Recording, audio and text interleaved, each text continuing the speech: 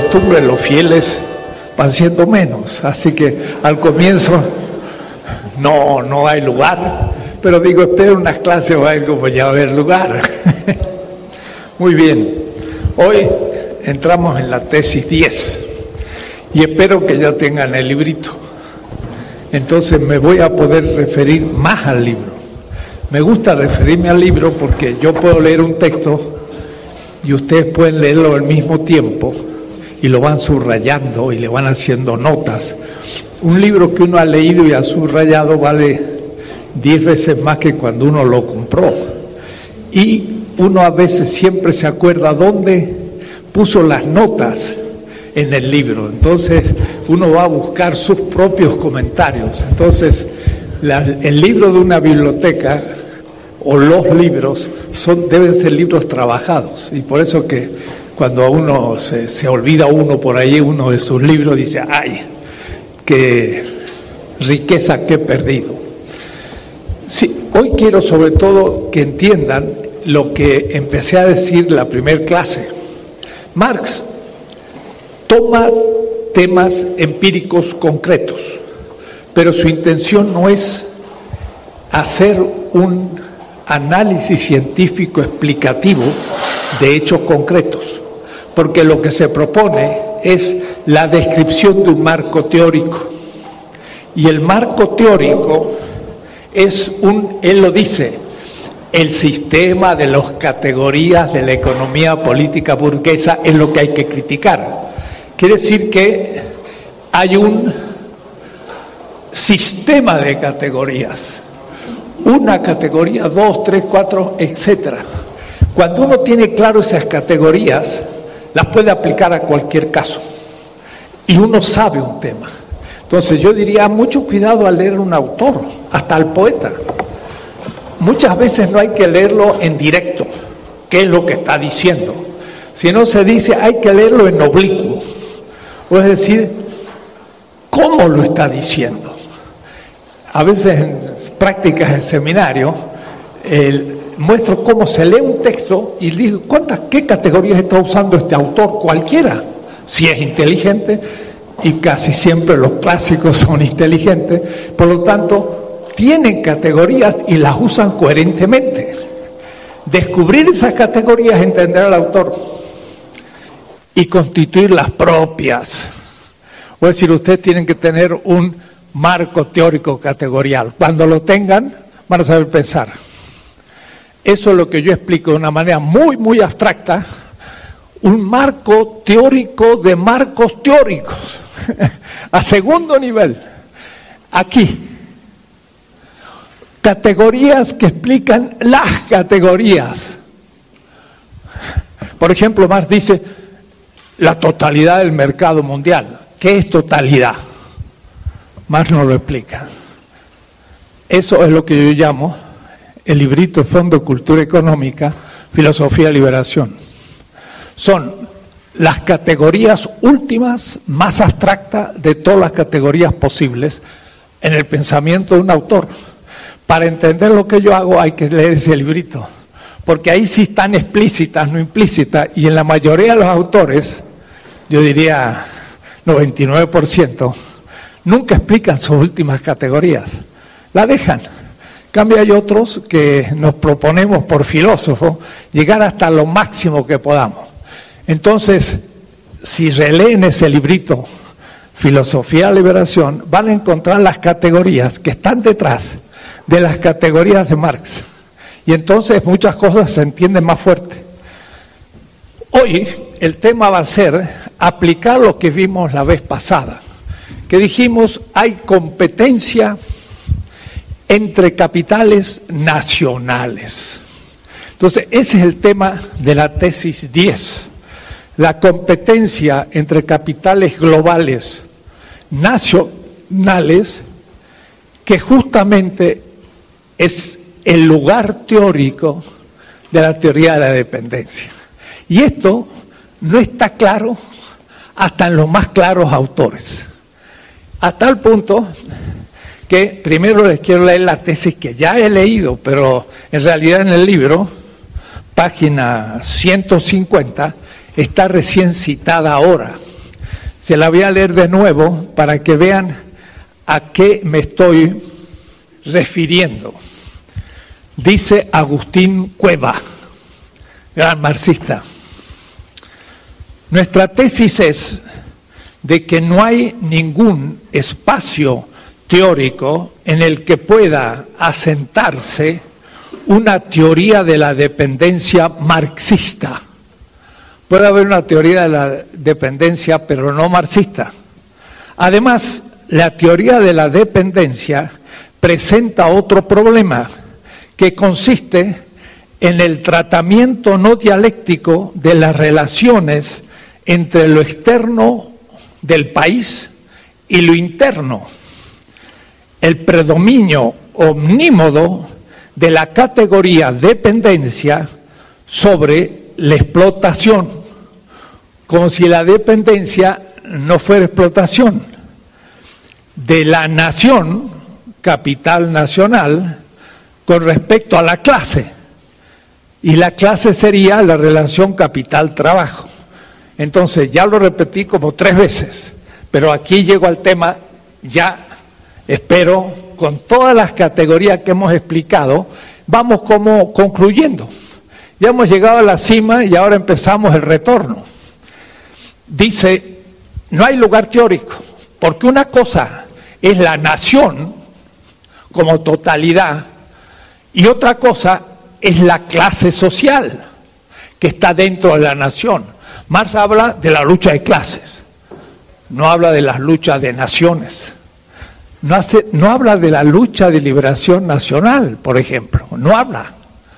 El asunto es que si no dio los supuestos para poder en un momento hablar de ella, y porque no haya hablado no es que no dio los fundamentos para hacerlo, cuidado.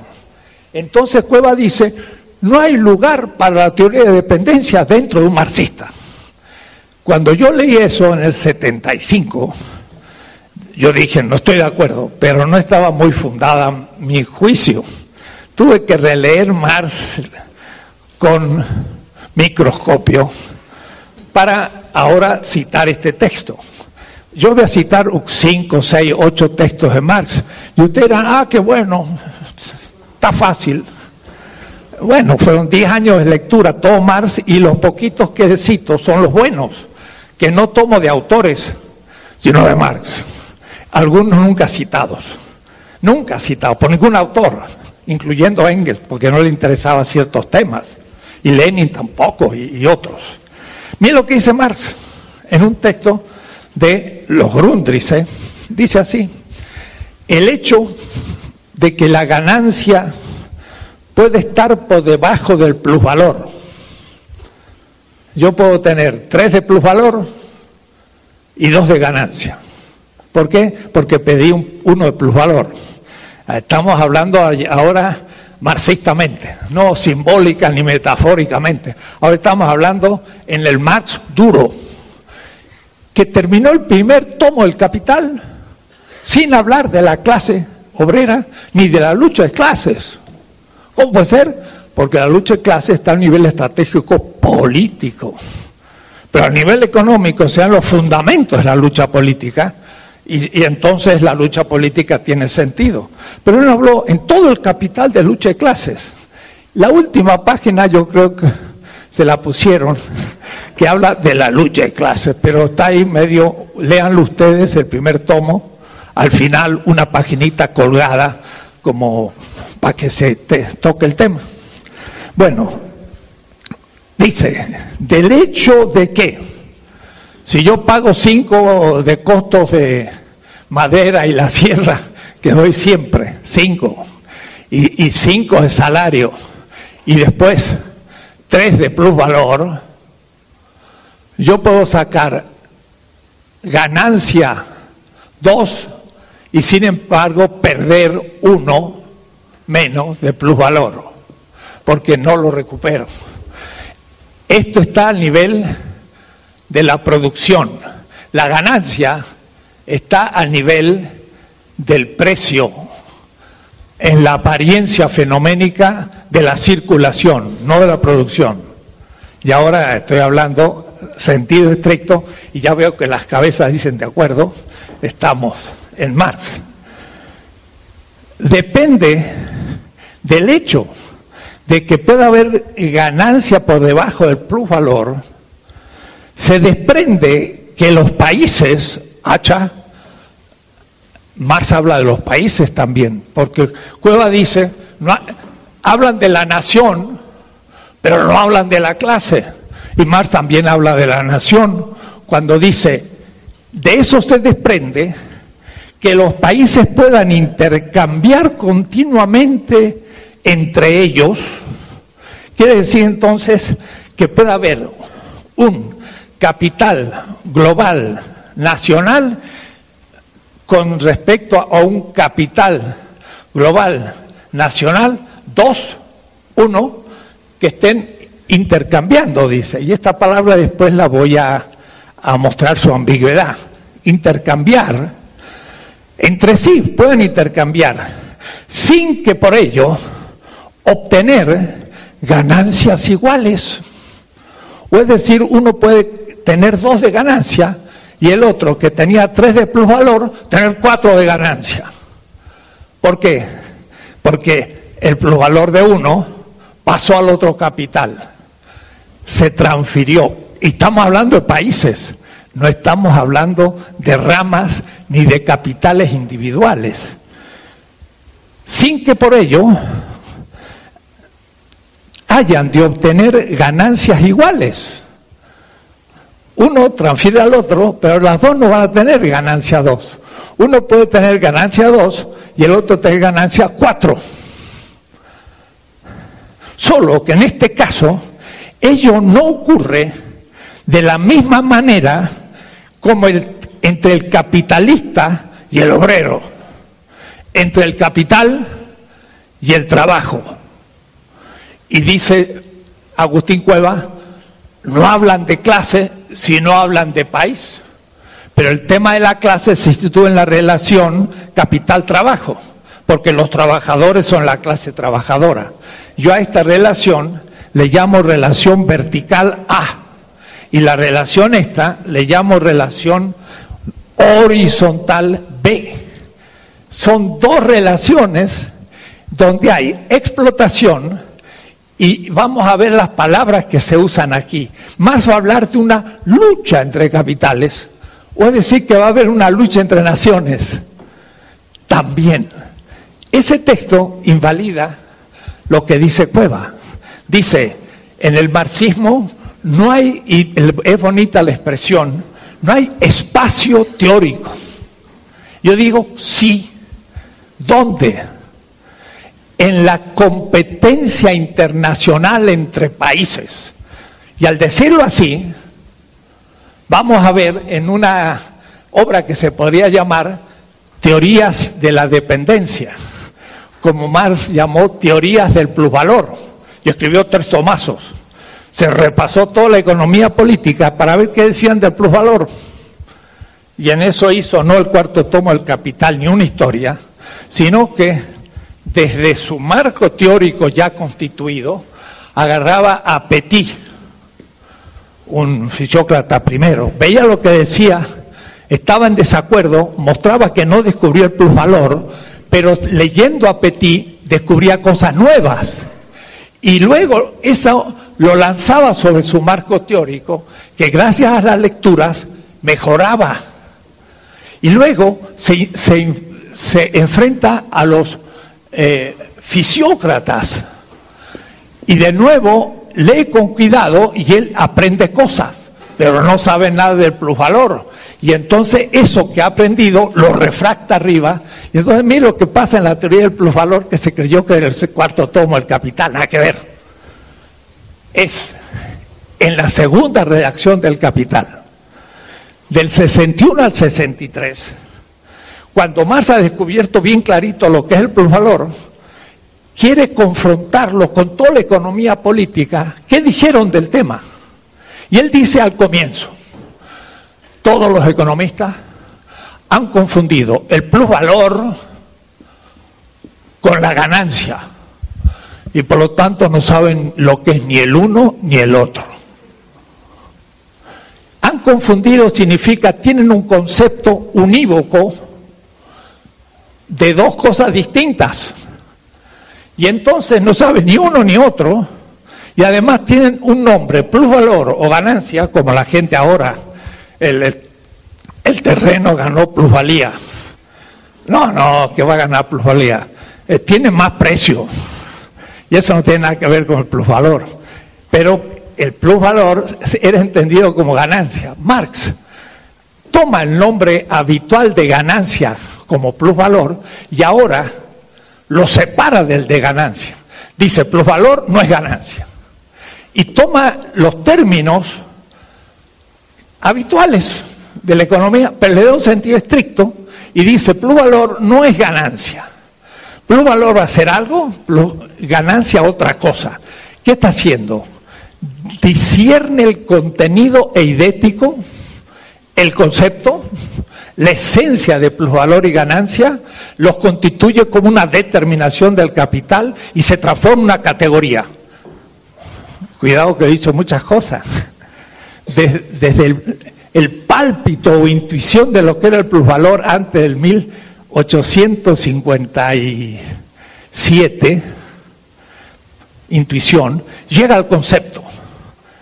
El concepto es el contenido como determinación.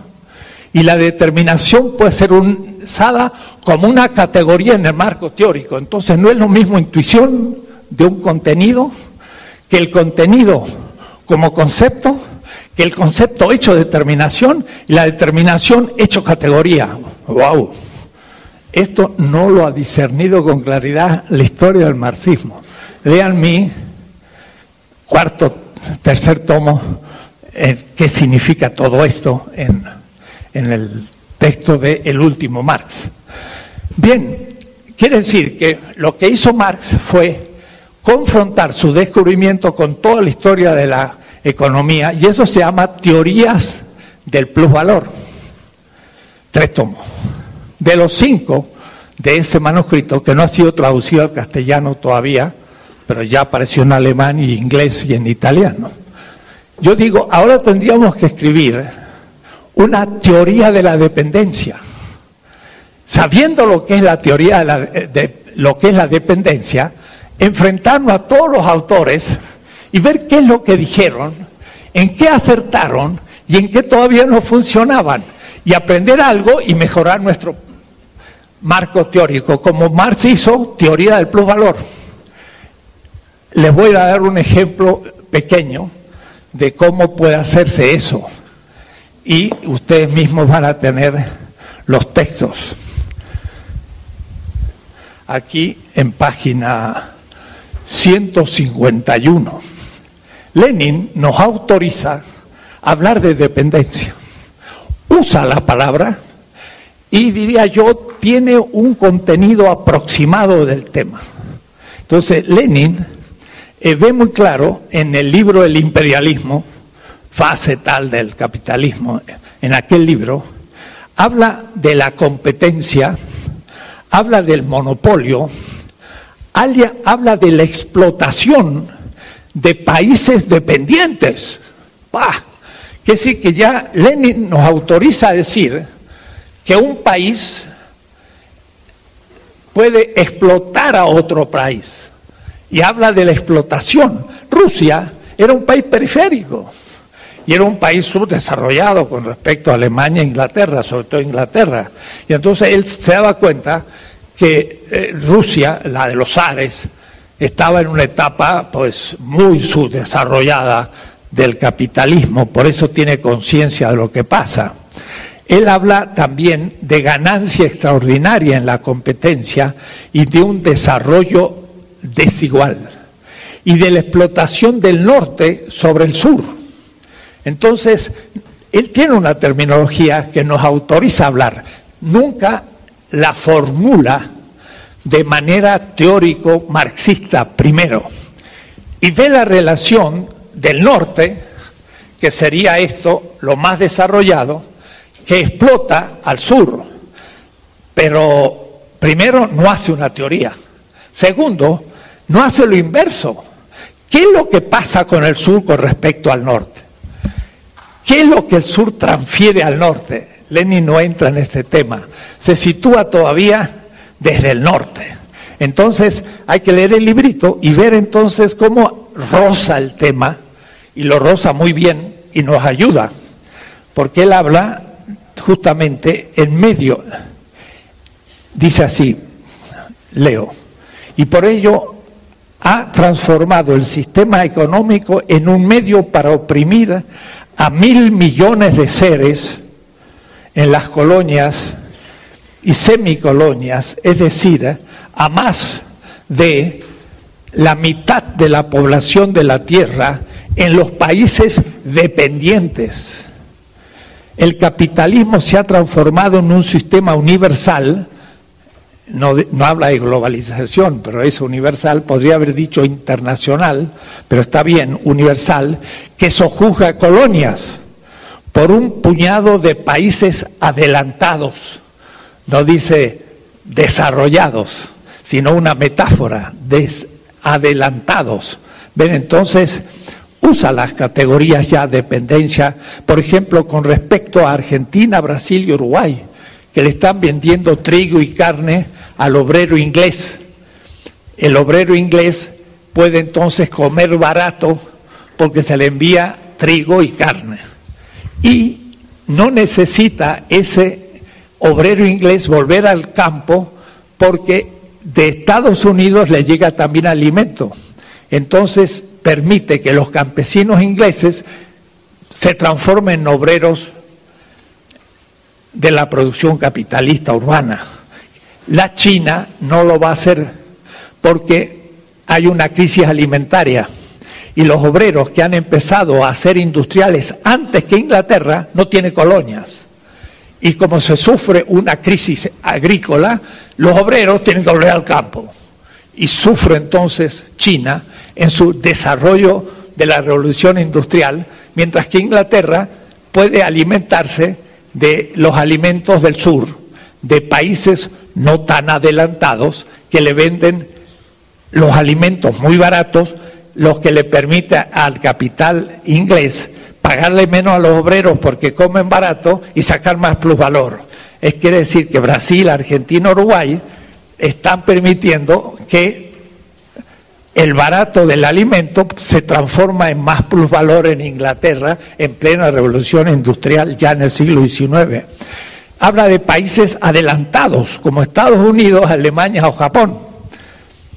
Y hemos visto también lo de ganancia extraordinaria, desarrollo desigual, etc. Y establece al mismo tiempo eh, y deja de lado la antigua competencia. Sin embargo, se establece una nueva competencia entre los nuevos capitales conglomerados en el imperialismo y aún entre las potencias capitalistas. Ya prevé que Inglaterra lucha contra Francia, Francia contra Alemania y luchan entre ellos. Eso ya lo había visto Fichte. Fichte, el gran teórico, tiene un texto que ya he citado, se llama El sistema económico cerrado allá por 1790, el Fichte kantiano, gran dialéctico, tiene textos muy interesantes, y entonces un libro entero de economía. Y ahí dice muy claro, Alemania está atrasada. La única manera de desarrollarse es cerrar las fronteras y desarrollarse y no dejar que los productos ingleses entren a Alemania.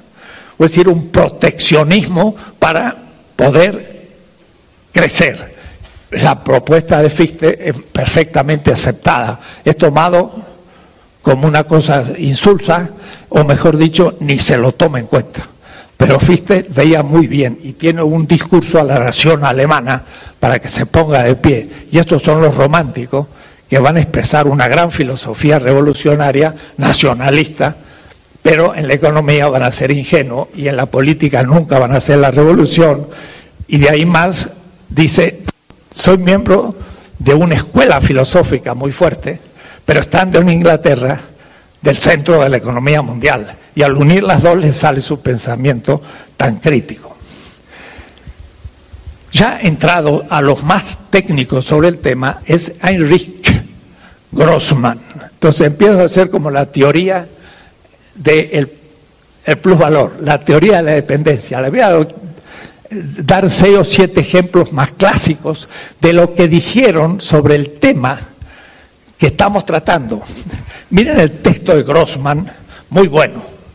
Diría prácticamente es una perfecta definición de la dependencia. Le falla por un 10%, 90% y un 10% de error todavía o de ambigüedad. Dice, desde que en el comercio internacional no se intercambian equivalentes, ah, estamos en el comercio internacional. El lugar teórico es el mercado mundial. Y dice, no se intercambian, cuidado, habla de intercambio. Y también Marx habló de intercambio, pero Marx lo hace en el contexto de la competencia. Grossman, igual que todos, van a hablar del intercambio. El intercambio es, uno intercambia con otro, ida y vuelta. La competencia no es intercambio. La competencia es producción dentro de un mismo mercado donde después se igualan los precios, según he explicado, y se pasa de un capital a otro plus valor. Pero no hay intercambio, sino que hay eso que se llama la lucha de competencia. Entonces no es lo mismo intercambiar que entrar a un mercado con competencia. Ninguno de estos autores va a hablar de la competencia. La está suponiendo. Ahí está el puntito en que no tuvieron del todo claridad. Entonces dice Grossman, muy bien, dado que el comercio internacional no se intercambian equivalentes, porque aquí, lo mismo que en el mercado interno, el mercado interno es de cada país. El mercado externo es lo que está fuera del país. Y Cuevas le va a objetar la teoría de dependencia. Sí, situaron muy bien México en el mercado mundial, pero eh, después descuidaron qué pasaba en México. Y en cambio hay que vienen a estudiar a México para entender después el mercado mundial. La objeción fue, se centraron sobre lo externo y descuidaron lo interno. Cuidado. Vamos a leer un texto magnífico de Marx, donde va a demostrar que lo externo es lo concreto y lo interno es lo abstracto y hay que estudiar los dos. Y si dejo de estudiar uno de los dos, no tengo la visión. Porque si yo estudio México y nada más que México, no sé por qué ahora está poniendo a disposición del capital extranjero su reserva energética y parecería que es una medida interna. No, es una medida interna al mercado mundial y obligada o presionada o propuesta por lo externo, que explica lo interno. Y hay un autor latinoamericano que mostró eso en el, en el, en el sur, mostrando que la plata del Potosí, Bolivia, organizaba toda la economía, desde Colombia hasta el Plata, Argentina y Chile porque era tan grande la explotación de la plata que la ciudad de Potosí tenía más de 100.000 habitantes, como el Teotihuacán en el siglo III y IV. Y ahí se necesitaban asnos, pero los asnos venían del sur, de lo que era el plata. Y se necesitaban después cobertores para la gente en el frío, y eso venía de, la otra parte de Bolivia, se necesitaban alimentos, venían de Colombia, y todo, eh, muestra todo ese mercado que está en torno a la mina de Potosí, haciendo un trabajo interesante de mostrar cómo funcionaba la economía interna de América del Sur, como objeción a la teoría de dependencia, diciendo hay que trabajar la economía interna y dejar un poco la externa. Se olvidaba que la mina de Potosí era el centro de todo ese sistema económico. ¿Y para qué estaba la plata? Para ser exportada al mercado mundial, o decir que era la mejor demostración de que si toda la economía de América del Sur estaba rondando la plata, pero la plata a su vez estaba integrada, era la moneda mundial que tenía España para comprar en el mundo y Europa. Es decir, que esa plata del Potosí era un hecho mundial en el país. Lo externo se unía a lo interno. Pero bueno, dice aquí,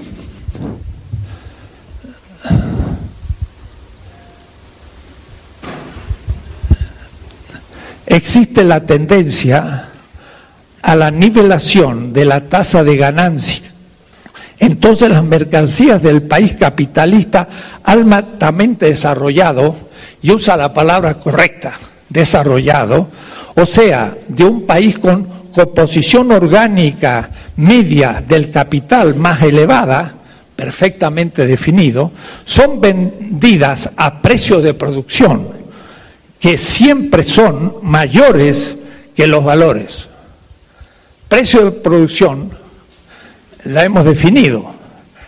Él lo aplica al mercado mundial. Dice, cada país en el mercado mundial tiene un capital nacional global. Capital nacional global, que es la suma de todos los capitales del país. Y a su vez tiene una media de composición orgánica, sería el grado de industrialización del país. Y entonces, el grado de industrialización del país es el que le permite tener más plusvalor relativo. Y esto le permite tener lo siguiente, el precio de producción, dijimos, era el costo de producción, o es decir, lo que gasta el capitalista, cinco de material y sierra y cinco de salario, eso es costo de producción. Pero después hay una media nacional de todos los capitales y esa media, en realidad, es la media de plusvalor del país. Y entonces, la media de toda la producción de ganancia es la ganancia media más el costo de producción. Eso se llama precio de producción. Ahora él está, Grossman, planteando precio de producción a nivel mundial. Y dice, en el nivel de todos los países del mundo hay una media de costo de producción y una media de ganancia o de ganancia media. Es un precio de producción. Algunos países están, su valor está por arriba o es decir, gastan más, otro está por debajo. Los que están por debajo quiere decir que tienen menos valor. Y estos son los que en la media del precio mundial de un producto logran que los menos desarrollados pasen al más desarrollado el plusvalor. Está usando estrictamente todas las categorías marxistas. Grossman es un buen teórico todos nuestros grandes dependentistas, que son los que lanzaron la teoría, ninguno usa a tal precisión sus categorías marxistas. Usan palabras mucho más ambiguas, nunca precio de producción mundial y demás. Y sigue entonces Grossman. De esta manera, en el mercado mundial se producen dentro de la esfera de la circulación el mercado, transferencia de plusvalor producido en el país poco desarrollado al país altamente desarrollado. La definición y la descripción de Grossman está perfecta. Un punto nomás. Él empezó diciendo que en el comercio internacional se intercambian, pero no por equivalentes. Y entonces usa la palabra intercambian, no dicen dentro de la competencia mundial. Y, ahí es el punto en que no logra traer toda la teoría además de la competencia al tema que estamos tratando. Pero diría, Grossman acertó. Y entonces, en cierta manera, yo no agrego mucho, sino muchas otras problemas que él no acertó con claridad. Otto Bauer, segundo, gran economista, de nuevo, habla siempre del intercambio. Y dice, no es verdad que los pueblos intercambien mercancías para cuya producción sea necesaria igual cantidad de trabajo. Y entonces ahora ya no ve la composición orgánica del capital, sino ve el trabajo. El capital tiene una composición orgánica, es tecnología, pero hay trabajo. Y el trabajo es salario. Y hay un salario medio. Y un salario medio de un país es más chiquito del nuestro, pues 200 dólares por obrero. En Estados Unidos, 1.500. Ese medio nacional va también a significar un factor que no hay que olvidar. No todo es composición orgánica, es también el salario. Y esto, van a ver ustedes la importancia en la cuestión de las transnacionales. Las transnacionales van a jugar con la composición orgánica y con el salario medio nacional y van a poner el capital con mayor composición orgánica a los países desarrollados y van a absorber los salarios más baratos de la periferia y van a destruir dos tipos de... Ya te lo voy a explicar después. Pero entonces Otto Wagner, por lo menos, lo que hace es traer también dentro del horizonte del intercambio el tema del salario. Tercero, así como Marx iba tratando uno por uno como 40 economistas, yo he tomado siete. Román Rostolsky. Rostolsky es importantísimo. Él tiene un libro sobre la génesis del capital, siglo XXI. Lo escribió en 1968. Rostolsky. Si alguno quiere leer un libro marxista a fondo, lee este libro primero que todos, después los míos, porque yo leí ese libro y ese libro me autorizó a empezar a leer a Marx de otra manera. Él me puso en la, en la, en la pista. Él habla de la esencia del capital, no tenía miedo a, lo que Marx dice, se trata de la esencia. Y los marxistas italianos van a decir, es un esencialista. Lo que pasa no que sabe que estamos hablando de la esencia de Hegel. Y la esencia de Hegel es una totalidad procesual, no es una esencia quieta. Y por eso Marx eh, trata realmente este tema esencial, pero de una manera propiamente hegeliana. Entonces Rostolsky tiene un texto precioso, muy bien, sobre este tema. Y dice así, aquí debemos recurrir nuevamente a la teoría marxista de la explotación, de tal manera que un capital nacional puede explotar a otro. O decir, un burgués norteamericano puede explotar a un burgués mexicano. Ah, eso es un problema burgués y no es un problema marxista. Ah, ah. Si explota un burgués mexicano, explota México. Y se explota México, empobrece a todo México, su pueblo y sus obreros. Y después entonces el obrero mexicano va a estar en una situación mucho más miserable que el norteamericano y se va a producir una especie, más no trató el tema, no trató, Lenin habló de una aristocracia obrera, pero en otro sentido, y yo sí lo tomaría en el sentido de la teoría de la dependencia. Una clase obrera norteamericana es como una aristocracia obrera en comparación a la, clase obrera mexicana. ¿Por qué? Porque, por ejemplo, cuando este quiere ir en Estados Unidos no lo dejan entrar o lo transforman en ilegal porque le está quitando su salario o se propone a menor salario y le hace una competencia al obrero. Pero además porque vive una vida completamente por sobre los estándares de nuestros obreros, porque ganan mucho más en un país más desarrollado. Entonces se produce no una explotación, pero una diferenciación que a veces en política es fundamental, porque la clase obrera inglesa empieza a ser solidario del imperio y admite a las colonias porque vive de ellas y nunca le va a ser un problema a, la monarquía inglesa por un problema de la India o, de un país árabe porque allá haya pobreza, si están beneficiando de eso porque son obreros ingleses. Entonces, Rostowski dice que un capital puede explotar a otro capital y por lo tanto una burguesía a otra. Quiere decir que se usa también esta palabra en esa relación. La ley del valor es la que une todo el sistema. Es el que pega como un hilo a todas las perlas del collar. Cada categoría es una perla, pero la teoría del valor. ¿Qué dice la teoría del valor? Algo muy simple. El trabajo es la única sustancia del valor.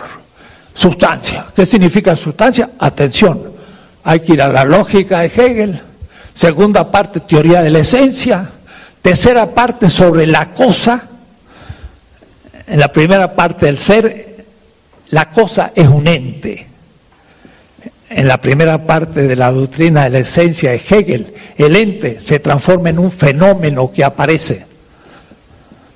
Y para Marx es en el mundo de la mercancía, el mercado. Pero la cosa que es un ente y que es un fenómeno como cosa, es la que produce efectos. Los entes todavía no se les descubre sus efectos y los fenómenos tampoco. Es a la cosa real, wirklich. No es a la cosa existente que aparece, ni a la cosa que es. Una cosa es el ser, otro la apariencia y otra la realidad. Todo esto lo usa Marx como su vocabulario. La realización del capital, tercera parte del tercer tomo. Segundo tomo, fenómeno, la circulación, el primero el ente, en fin, no les voy a hacer relaciones con Hegel. En Hegel la cosa tiene efectos. Y tener efecto es ser una sustancia. Esta palabrita no es una palabra cualquiera, es una palabra técnica, dice Marx. El trabajo es la sustancia del valor. Significa, el trabajo real es la causa del efecto valor. Y no hay valor sin trabajo. Valor de cambio o valor en cuanto tal, no valor de uso. Y como toda en la economía es cuestión de valor, todo en la economía es cuestión de trabajo. Y de ahí entonces que la economía es el estudio de ese efecto, de esa sustancia cósica que es el ser humano, que produce el valor, y el valor lo estamos viendo en todas sus determinaciones como capital. Y podemos entonces describir toda la economía y eso es el marco teórico de Marx. Entonces dice, la ley del valor dice, ningún valor de cambio o valor en cuanto tal es efecto sino del trabajo. Y Agustín Cueva dice, la teoría de la dependencia no cumple con las exigencias de la ley del valor. Ay, ay, ay, ¿cómo que no? Creía que salía de otro lado el valor que se le da a los países centrales. No, sale del trabajito de la periferia en la ley del valor. En primer término, lo que explica esto es la ley del valor. El resultado es que entre las diversas naciones que tienen un intercambio desigual, vuelve a hablar del intercambio y no habla de la competencia. El tema de la competencia estaba ausente del pensamiento marxista. Del intercambio desigual, no necesitamos explicar la pérdida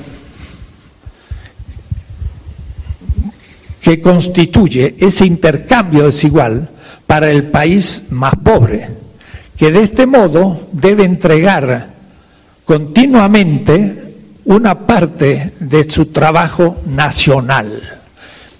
Es interesante, no habla de el valor, sino habla del trabajo, lo cual es correcto, porque el trabajo es objetivo en el valor y si yo entrego plus valor, estoy, estoy entregando trabajo. Pues no entregamos billetes, para pagar los intereses del FOBAPROA. Entregamos horas humanas y, gente que al entregar ese plusvalor vive peor. Y toda la pobreza que tenemos, esto es el dinero que se va, pero como valor a los países llamados desarrollados. De tal manera que él plantea el tema correctamente, sin todavía hablar de la competencia. Arguiri Emanuel, otros clásicos de los años 60 y 70, que habla ya del valor internacional. Estamos a ese nivel, valor internacional de un intercambio desigual, como hablaba Presbich y la CEPAL, verán ustedes después. Y aquí no tanto le interesa la composición orgánica del capital a Emanuel, sino teniendo como punto de partida el trabajo, quiere mostrar que el salario medio de los países menos desarrollados es menor, en la composición del valor del producto. Y esto entonces eh, produce un efecto que no se había descubierto claramente. Christian Palois es un francés muy original, nos va a hablar como Bettelheim de el precio de producción internacional. Eh, ah, no, pero Bettelheim todavía no he hablado. Bien, primero Charles Bettelheim, que a partir de la diferencia entre salario medio nacional, toma muy en serio las fronteras nacionales. Para que haya salario medio, el obrero no puede pasar al otro país. Si pasara fácilmente, como puede pasar una mercancía o puede pasar el dinero entre los bancos, entonces no habría salario medio nacional. Para que exista salario medio tiene que haber fronteras. Este tema de Bettelheim va a reaparecer de nuevo en el capital transnacional. Se habla globalización. Ya veremos. ¿De capital financiero? Sí. ¿De capital comercial? Sí. ¿De las mercancías? Sí. Pero no del salario y el trabajo, porque esos son los obreros. Y eso no pasa fácil de un país a otro. No hay globalización de los cuerpos. Si hubiera, habría un pasaporte universal y podríamos viajar por todos los países del mundo. ¡Wow! Mire lo que les pasa, las fronteras que ponen. Le, llaman la, el muro de tortilla, que de tortilla que va a ser. Es un, un muro, hay que verlo cuando uno va a San Diego y ve un no my land de un kilómetro y allá el muro, parece el muro de, de Berlín se queda chiquito y, electrificado y con, con soldados de un lado y soldados de otro ¿Por qué tanta frontera? Y dicen que está globalizado, que tenemos un tratado de libre comercio. ¿Y por qué no tenemos libre comercio de los cuerpos? Ah, no. ¿Por qué? Ah, vamos a verlo. Porque es mentira que esté globalizado. Está globalizada una parte del capital, pero otra no, y ese es el, problema. Entonces, Bettelheim eh, ya toca el tema. Dice, el intercambio desigual, ven siempre intercambio desigual y nunca competencia, determina nacionalmente, determinado nacionalmente por las diversas composiciones orgánicas y medias del salario, muy bien, agrega el salario, tiene lugar en el momento en que el país está obligado a suministrar más trabajo que el que obtiene a través de las mercancías que compra tenemos que meter nosotros más trabajo de las mercancías que compramos. Pero parece que es un intercambio. Y no se habla de la competencia, y menos del monopolio. En realidad no hay intercambio. Hay competencia o monopolio. Vamos a ver después. Y entonces Palois dice, en el proceso de producción en sí, la determinación del valor internacional esto es interesante. Si, unimos todas las empresas del mundo, tendríamos la totalidad del valor internacional, que es prácticamente un enunciado inverificable. Nunca sabremos cuánto valor hay, empírica, matemáticamente. Y alguien va a decir, entonces, esa doctrina no sirve. ¿Cómo que no? Se enuncia teóricamente y dice así, todo el valor de todas las empresas del mundo significa la suma del valor mundial. Eso es un concepto perfectamente comprensible. Que no es medible, ah, esa otra cosa, pues no tenemos medio, quizás algún día nuestras computadoras suban a tal nivel que podamos llegar a calcularlo, pero no por calcularlo deja existir, no hay que confundir matematización con la realidad de la cosa. Entonces dice, el valor internacional obedece a los fundamentos nacionales, valor trabajo, mientras que el precio de producción mundial, el valor es toda la producción desde el trabajo, mientras que el precio de producción mundial realiza unas formas del valor del plano mundial. El problema teórico consiste entonces en operar el pasaje del valor internacional al precio de producción mundial.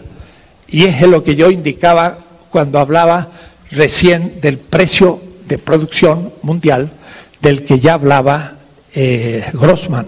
Entonces, eh, tenemos que entender que como hay un valor mundial, se podría determinar una media mundial de todos los capitales y veríamos entonces en ese caso como algunos países producen productos con mayor valor de la media y por eso se produce en la competencia la transferencia. Pero ellos hablan de intercambio y no entienden entonces el fondo del asunto.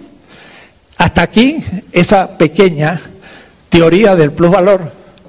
Marx trabaja con 50 autores en tres voluminosos tomos, que ha sido el dolor de cabeza prácticamente toda la historia, porque han dicho era, era una historia de la economía, no tiene nada que ver. Era el cuarto tomo, el capital menos que ver. ¿Qué era? Era el aclararse Marx el descubrimiento del plusvalor que lo había hecho en los Grundrisse. Y entonces ahora quería ver cómo funcionaba. Fue una experiencia de confrontación formidable. Y la hemos hecho en cinco años de seminario. Le hemos leído los tres tomos de teoría del plusvalor, página por página, en un grupo de casi 40 estudiantes, allá en los años 80.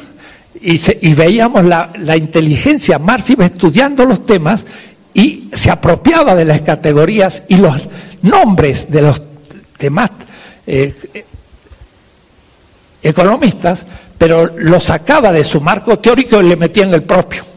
Así como los fisiócratas tenían su marco teórico y sus categorías, él tomaba esta y las incrustaba en su marco teórico. Entonces, leer eso hay que leerlo oblicuamente. Hay que ver qué está leyendo Marx, qué está aprendiendo y qué es lo que va a tomar para su teoría. Y va avanzando lentamente su marco teórico. Y, el precio de producción lo descubre en el 1863, eh, en los manuscritos de 63, y, pocas páginas antes lo, lo define mal. No sabía lo que era el precio de producción. Cuando lo ve, ¡ah! Entonces cuando Marx capta el concepto, lo bautiza y le pone un nombre. Y el nombre es, un nombre tomado de la economía vulgar. Precio de producción se usaba para otras cosas, él lo usa para un nuevo concepto.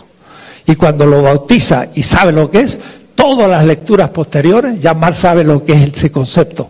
Eso es lo que yo he hecho en mi lectura cronológica cómo fue descubriendo sus categorías y cuándo entró en claridad. No la tuvo nunca desde el comienzo.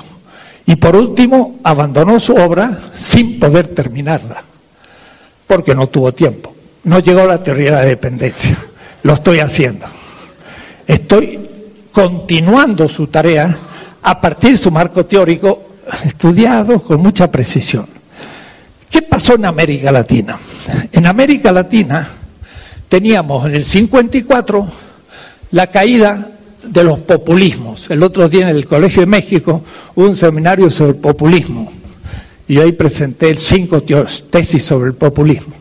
Del 30 al 54 en América Latina hubo lo que se llama los grandes movimientos nacionalistas de proyecto capitalista, pero al menos independiente. Y por eso Estados Unidos era catalogado como imperialista. Era una lucha entre burguesías. nacían las burguesías nacionales. Arnaldo Córdoba muestra muy bien en la ideología de la Revolución Mexicana. ¿Cuál fue al fin la ideología? La de eh, Zapata, la de el caudillo del norte, la de los campesinos, nada de eso. Al fin lo que se impuso fue una burguesía burguesa nacional, que es la del PRI, que debo decirlo, en el año 30 era lo más revolucionario que había.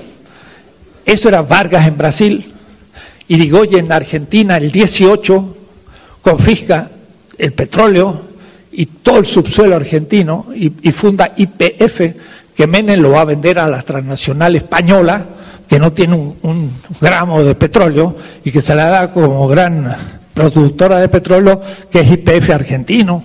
Y ahora, pues, nuestro Lázaro Cárdenas, el 34, hace lo que hizo Vargas en Brasil, que fundó Pemex, Pemex no, Petrobras. Entonces, Perón, Vargas, Cárdenas, Ibáñez, hasta Roja Penilla, hasta Pérez Jiménez, hasta Batista, al fin, porque eran ya populistas decadentes del Caribe, sin obreros, porque no había revolución industrial. Lean mi trabajo sobre el populismo para mostrar los tres tipos de populismo propiamente industrial, semi y preindustriales. Pero el, populismo lo que se propuso fue justamente la autonomía nacional y nació la burguesía y nació la revolución industrial. Siempre digo, Vallejo y, y y esta región, en el 1930 tenía 10.000 habitantes y tiene millones. Es toda la revolución industrial en México. Es Lázaro Cárdenas, antiimperialista y hasta hablaban de socialismo, pero no sabían lo que era. Además, los que creyeron y vinieron para colaborar con los socialistas se pagaban un susto tremendo y se dieron cuenta que no tenía nada que ver porque no podía tener. Era un nacionalismo industrial y por eso había la Confederación de Empresarios, ¿dónde está el socialismo? Confederación Obrera y Confederación Campesina. Entonces eran tres clases, clases contradictorias, ¿cómo unirlos? Entonces yo muestro que el que lo une es un discurso necesariamente ambiguo del líder, que dice justicia social, y el, el, burgués dice así, así con justicia va a haber paz y vamos a poder hacer los negocios. Y el obrero dice justicia social, me van a pagar lo que deben, y el campesino igual. O es decir, el líder, y él lo he analizado en los discursos, hasta Dibáñez en, en Chile o Ibarra en, en, en Ecuador, y qué decir Perón y Lázaro Cárdenas, el pueblo decía, sí, la lucha, bravo, decía Cárdenas, tomemos las armas, decía el pueblo, y Lázaro Cárdenas decía, claro compañero, las armas de la justicia, y le desviaba el discurso, y la gente estaba feliz porque estaba cumpliendo su objetivo, pero eh, estaba siendo analizado de otra manera por el líder, pero era nacionalista Empezó la revolución industrial 1930, en Inglaterra había sido 1750, estamos dos siglos atrasados.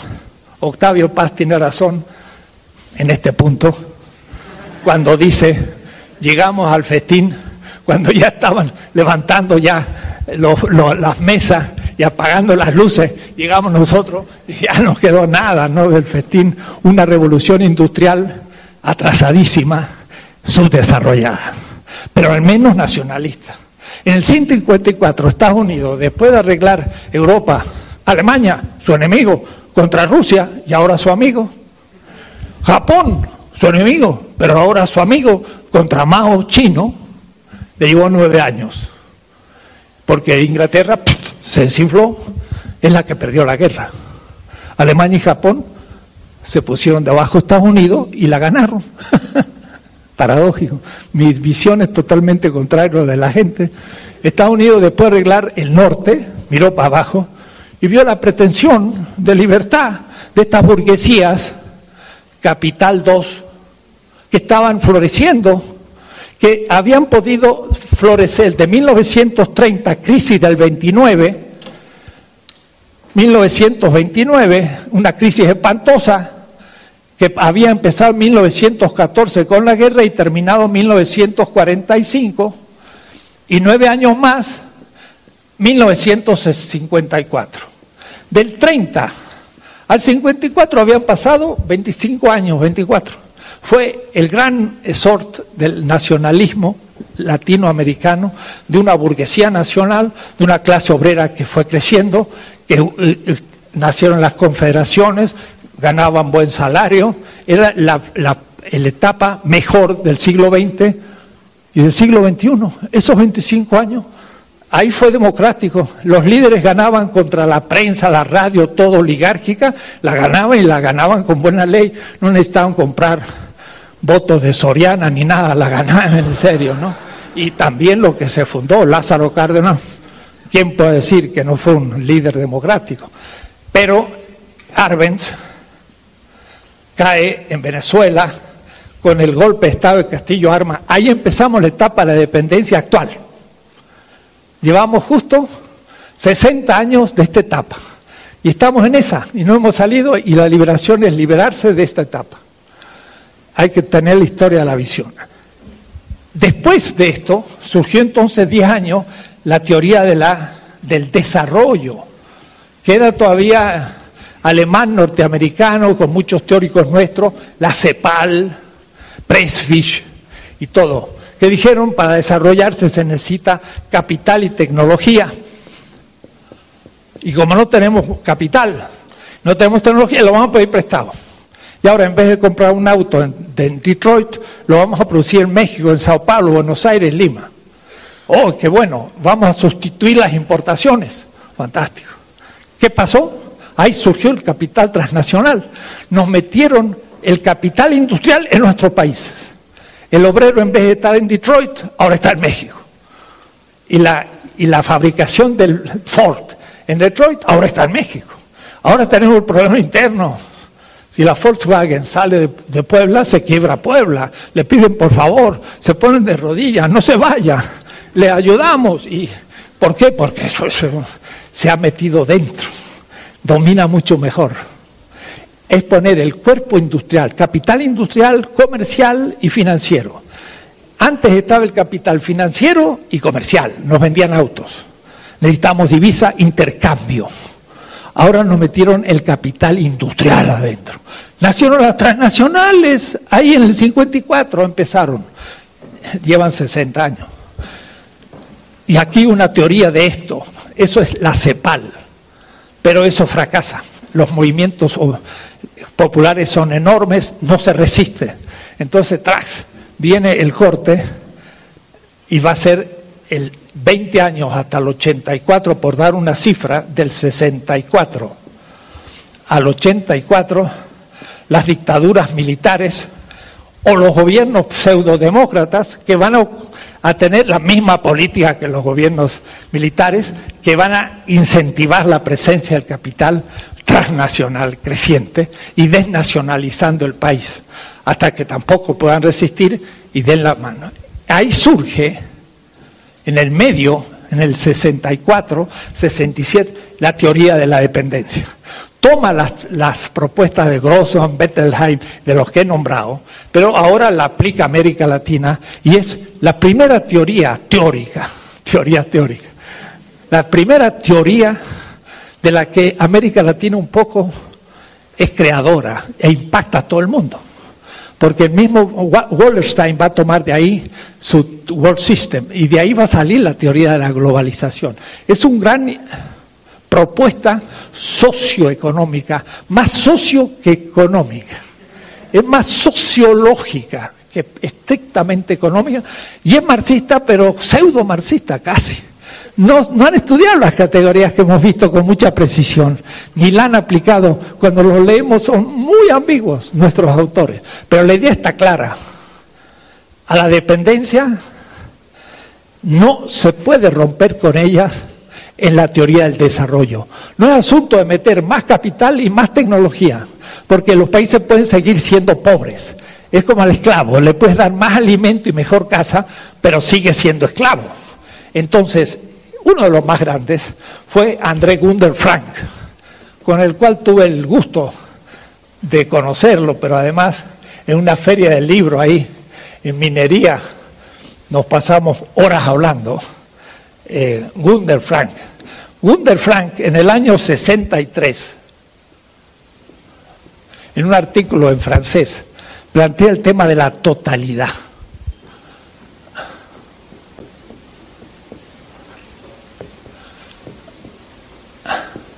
Él va a escribir muchas obras, entre ellas el, de, el, el desarrollo del subdesarrollo y otras muchas. Pero él dice lo siguiente, hay países, la teoría del desarrollo dice, hay países perfectamente desarrollados, desarrollados, funciona todo muy bien, tienen capital, tienen tecnología, tienen equilibrio, hay paz social, todo. Hay países subdesarrollados porque no, no está bien el sistema, son subdesarrollados, hay crisis social, no hay capital, no hay tecnología. ¿Qué hay que hacer? Imitar a los desarrollados. Entonces fue la época de la ética, el desarrollo, eh, hay que desarrollar nuestros países, eh, eh, entró Estados Unidos a una política de, de desarrollo latinoamericano. Gunther Frank dice, eso es absurdo, eso es imposible que logremos imitarlos. Es como el, vagón de cola que quiera llegar a ser locomotora y entonces quiere ir más rápido pero a medida que anda más rápido el tren, anda más rápido la locomotora mucho más. el vagón de cola nunca va a ser locomotora, por más que cinche, porque está dentro de una totalidad mundial. Totalidad. Los países desarrollados y subdesarrollados son parte de un sistema y están estructurados. De tal manera que hay una relación entre ellos y si no se rompe la relación, no hay posibilidad de desarrollo del subdesarrollado, porque están integrados. Y de ahí entonces que era dependencia o liberación. Ahí surgió la filosofía de liberación, no de la emancipación habermasiana, sino de la liberación en serio, como el frente los frentes en el norte del África, el frente farabundista de liberación nacional, el frente eh, sandinista de liberación nacional y hasta el frente zapatista de liberación nacional. La palabra liberación es económica política, la palabra emancipación es teórico-social, es adulcorar la liberación. Yo soy un filósofo de la liberación no de la emancipación. Y sigo pensando en esta época, porque estamos en la misma, estamos en la época de la dependencia y Estados Unidos nos agobia más que nunca. Por eso que el tercer tomo de mi política va a empezar con una larga historia de Estados Unidos para ver qué es lo que hicieron con su pueblo y han llegado a lo que han llegado, una historia larguísima de represión. El pueblo más reprimido de la tierra es el norteamericano el más ignorante de lo que pasa y el más sojuzgado por los medios de comunicación. Peor que nosotros con Televisa y Teleazteca, están ellos, porque todos están de acuerdo y no tienen dónde ver algo distinto. Bueno, la teoría de la dependencia es justo el pasaje de la teoría del desarrollo a la dependencia. El desarrollo era un país puede desarrollarse imitando al desarrollado. La teoría de la dependencia dice, estamos articulados y por lo tanto hay un empobrecimiento estructural. Y empezó cuando en la colonia, algunos no lo ven, yo como historiador y habiendo trabajado el siglo XVI muy a fondo, lo conozco muy bien. Son ocho grandes tomos de mi tesis de historia, 2.300 páginas de historia empírica positivistas, tras, tras, documentos, miles de documentos, siglo XVI. Entonces, sé muy bien la explotación que hubo del indio, del negro, la transferencia a Europa de la plata, el oro, los productos tropicales, la esclavitud de los negros traídos a ser explotados sin salario, la mita, la hacienda y, la encomienda que tampoco se paga a los indígenas, sino que gratis se saca riqueza, plusvalor, no, pero se hace plusvalor pasando el océano y entonces se llega a ese tema. ¿Quién fue el que lanzó la revolución epistemológica? Epistemológica. Hablamos hoy de descolonización epistemológica. ¿Quién fue el padre? Se llama Sergio Bagú.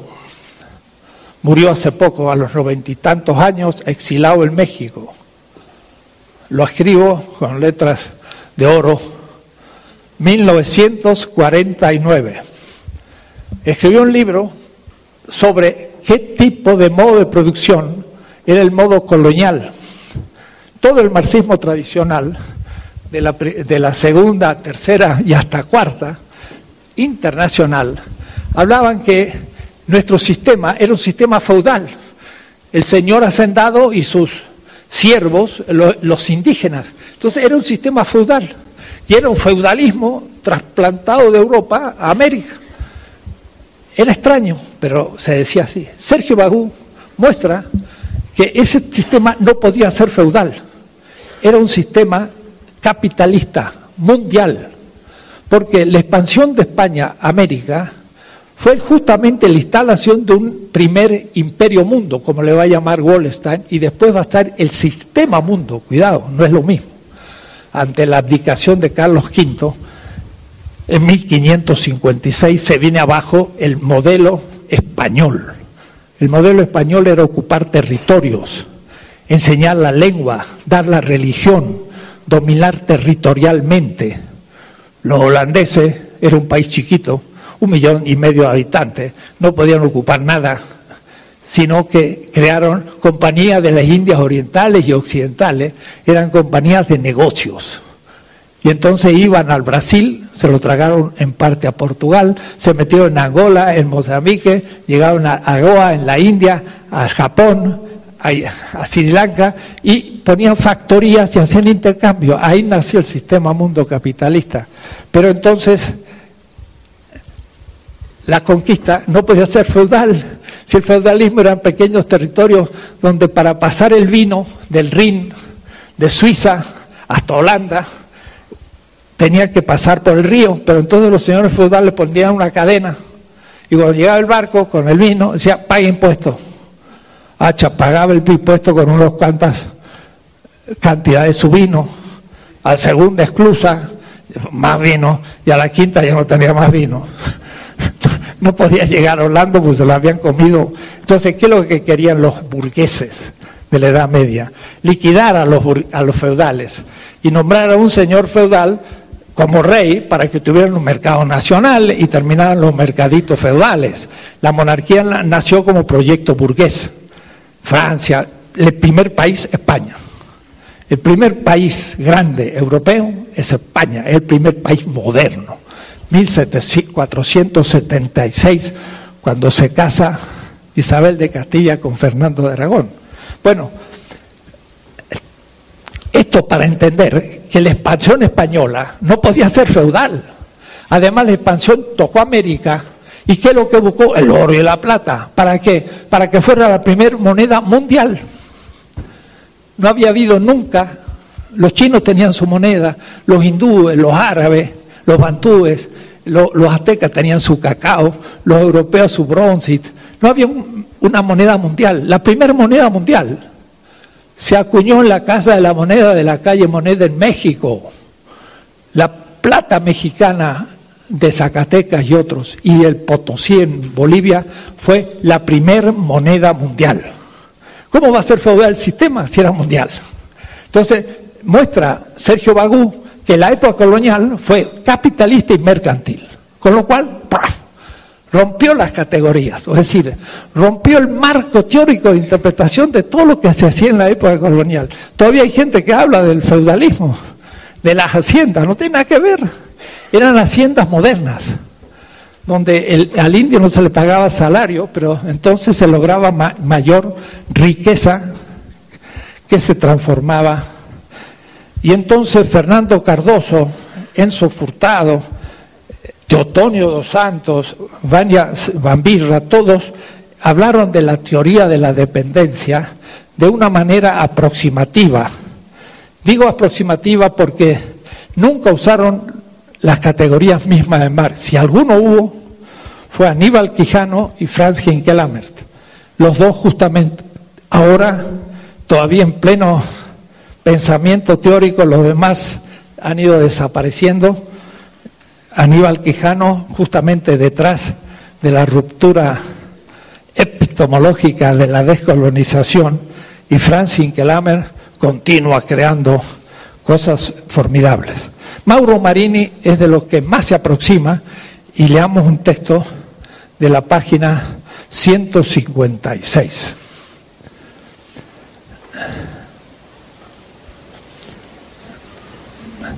Si es que la tengo registrada. Sí. Miren el texto de Mauro Marini. En lo que respecta a los capitales invertidos No, no, este es un texto de Marx.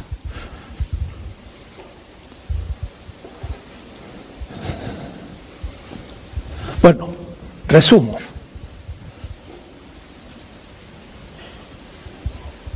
Así. América Latina debió hacerlo mediante una acumulación fundada en la superexplotación del trabajo. Él entonces dice así, en esta contradicción radica la esencia, usa la palabra, de la dependencia latinoamericana.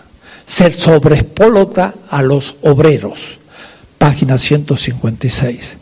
En esta contradicción radica la esencia de la dependencia latinoamericana. La tesis central consiste en enunciar que el fundamento de la dependencia es la superexplotación del trabajo. Y esto fue muy eh, aceptado y propuesto. Pero se entiende perfectamente por qué la super o la sobreexplotación del trabajo es un efecto de la esencia de la dependencia y no la causa. Porque lo dijimos más de una vez, pero ahora, eh, bueno, borro lo de Bagú porque fue el primero que puso a pensar en la originalidad del fenómeno latinoamericano que había que inventar todo de nuevo. Es decir, aplicar el marxismo pero de una manera originaria, que es lo que estoy haciendo yo. Entonces dijo, somos capitalistas, si somos capitalistas, ah, entonces, ¿qué tipo de capitalismo? ¿Y qué es el capitalismo industrial del siglo XVIII? ¿Y cómo va a ser la dependencia en la época colonial o en la época industrial o en la época del capitalismo tardío que estamos viviendo, en la globalización, y una cantidad de preguntas, pero todas surgen, nunca fuimos feudales. Los aztecas no fueron feudales, ni la colonia tampoco. No tuvimos feudalismo, esto es un fenómeno europeo. Entonces, sobreexplotación, pues se entiende. Si un capital eh, tiene 3 de plusvalor, la media se establece por, dije yo, 12 10 de valor y, y 8 de valor, precio, el capital super, desarrollado y el subdesarrollado, este va a transferir parte de su ganancia, de su plusvalor al otro. Esta parte se llama ganancia extraordinaria.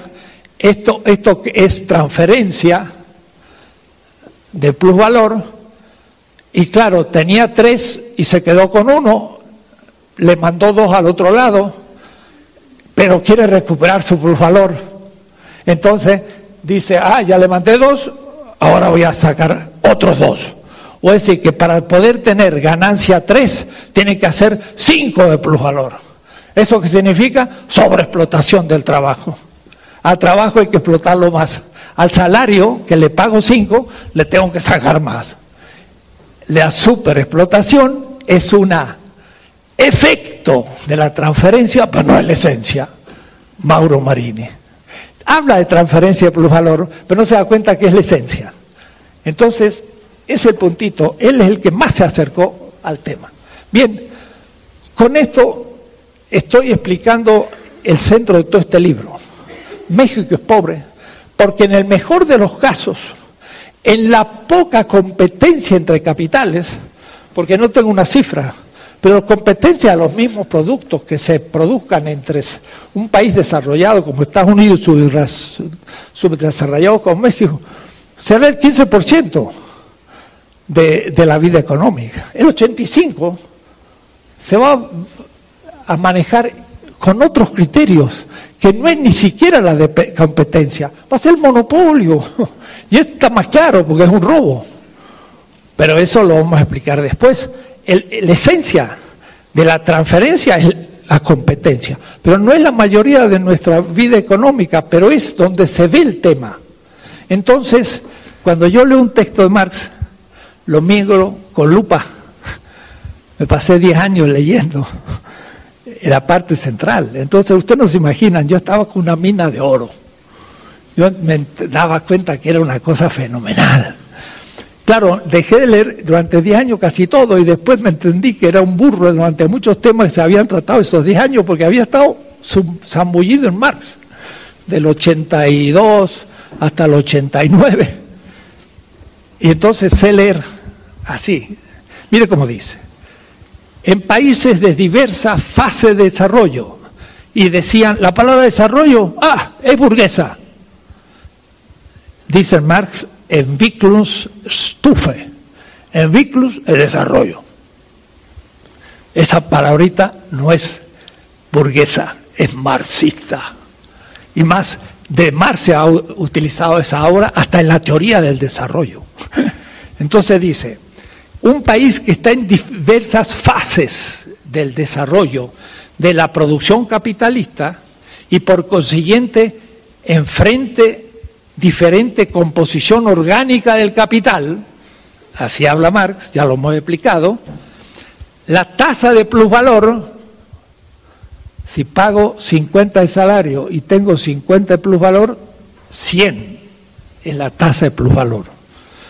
La tasa de plusvalor, uno de los factores que determinan la tasa de ganancia, pero si la tasa, los 50 son 50 de mil, porque uso 950 para pagar capital fijo o máquinas, el 50%, el 50% eh, eh, que pago del salario en mil, el 5% es la tasa de ganancia. Mientras que la tasa de plusvalor, si le pago 50 y saco 50, es 100. Entonces, no confundan la tasa de plusvalor con la tasa de ganancia. Dice Marx, la tasa de ganancia, uno de los factores que determina la tasa de ganancia, puede ser más elevada la de plusvalor que en un país en el cual la jornada laboral normal es más breve que en otro en el cual la jornada de trabajo es más prolongada. Quiere decir que en un país subdesarrollado puede que la jornada sea más larga, más trabajo, 10 horas, y en la otra más breve. Y sin embargo, la tasa de ganancia sea mayor en una que en otra. Entonces, Marx está mostrando que hay que tomar en consideración no solo la composición orgánica, sino también el salario que recibe el obrero. Entonces, la cuestión de la relación no es solo por la composición orgánica, sino por el salario. Y ahí también él habla de Mindes en Wickelten Land. land. Países con menos desarrollo. Miren, la página 150, nota 32. Al comparar países de diversas fases de desarrollo, de nuevo usa esa terminología, estamos a nivel de países. Y se había dicho que Marx solamente hablaba de relación capital-trabajo. Aquí está hablando de relación entre países, en especial al comparar países de producción capitalista desarrollada con otros en los cuales el trabajo, no habla de la composición orgánica, sino del trabajo, aún no se haya formalmente subsumido en el capital, pese a que en realidad el trabajador es explotado por el capitalista, eh, como en la India, donde se el valor del trabajo como campesino independiente, sería un completo error querer medir solo por el nivel de la tasa nacional de interés el nivel de la tasa nacional de ganancia. Bueno, está demostrando que los fenómenos entre países primero se están dando, pero además hay que considerar composición orgánica, pero también hay que considerar medias de trabajo nacionales. Entonces, estamos en una visión, como diríamos, más compleja.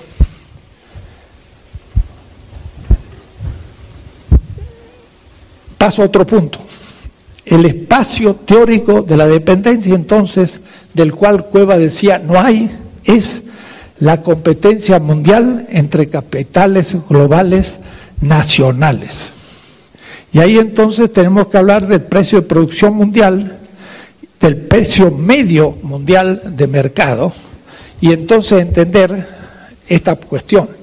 Y este espacio es dentro del mercado mundial. Y ahora quiero volver a dos textos muy bonitos de Marx, donde él responde a aquella objeción a la teoría de dependencia, donde decía, los dependentistas hablan mucho de la relación externa de un país con el capital mundial, pero descuidan lo propio. Entonces, hay, hay dos textos muy interesantes de Marx. En la página 159 dice, el mercado mundial es la sección final de toda la investigación. Eso yo se lo agrego porque es la sexta parte de su proyecto. Cuando llegáramos al capital, al horizonte mundial, ahí tendríamos una, una visión de conjunto, habríamos terminado el marco teórico completo y entonces podríamos analizar cualquier tema que se nos presente empírico porque habríamos llegado a la totalidad. En la cual la producción está puesta como totalidad. Miren la, categoría de totalidad en Marx. Eh, Martin Jay, un gran teórico de Berkeley, tiene un libro que se llama Totalidad y Marxismo. Totality and Marxism un libro de 400 páginas donde muestra el uso de la palabra totalidad. Mi filosofía de liberación, la segunda categoría es totalidad, el mundo. ¿Qué significa? Entonces explica aún la totalidad económica de la que Marx habla, la totalidad.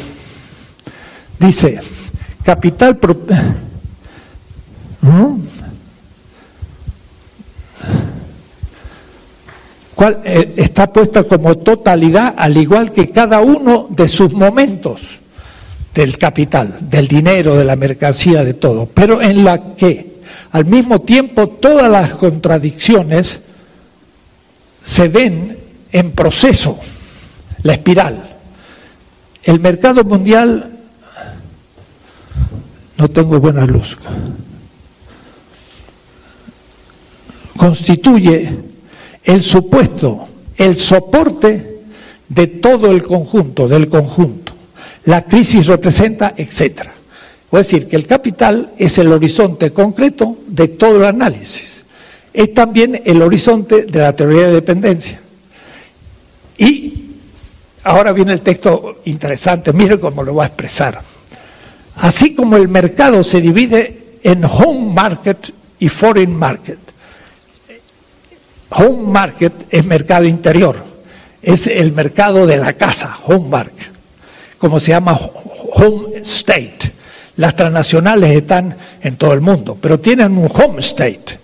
Es una transnacional norteamericana o alemana o slim mexicana. Ese es el home state, es la casa donde está radicado.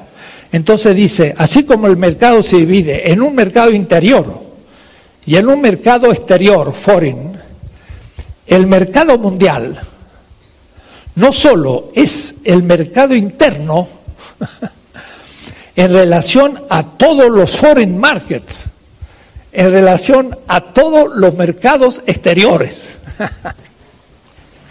Marx está jugando con las palabras. Dice, hay un país, México, y tiene un home market y tiene un mercado foreign market, exterior. Y el foreign de todos es el mercado mundial. El mercado mundial tiene un interior. Y ese interior son todos los mercados externos de cualquier mercado interno, porque los comprende a los externos y a los internos. Es decir, el mercado mundial tiene también un mercado interno a él. Pero, dice,